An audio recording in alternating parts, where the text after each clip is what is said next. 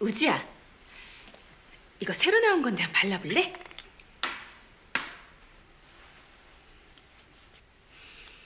냄새 좋지? 너 가져. 괜찮아, 고모.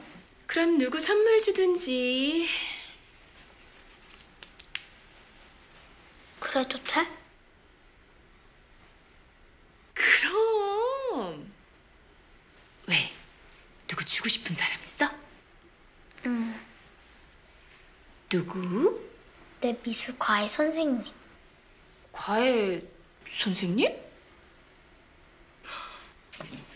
혹시 이 사람이야? 과외 선생님? 오, 근데 셋이 같이 캠핑도 갔었대. 김백을 참말이야? 거기만 갔으면 말을 안 해. 글쎄 그 여자.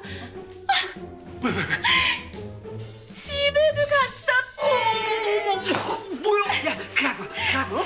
예? 집에 그 여자 초대해서 셋이 같이 저녁도 먹었대. 깨끗.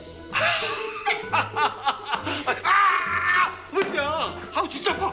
아이씨. 꿈 아니야. 아, 그랬고 아니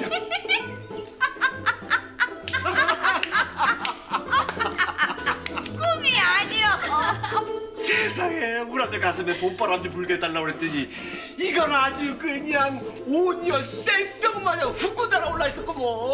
이... 가만, 가만. 왜, 왜, 왜? 그런데 그 과외 선생님 어찌게 좀 볼 수 없을까?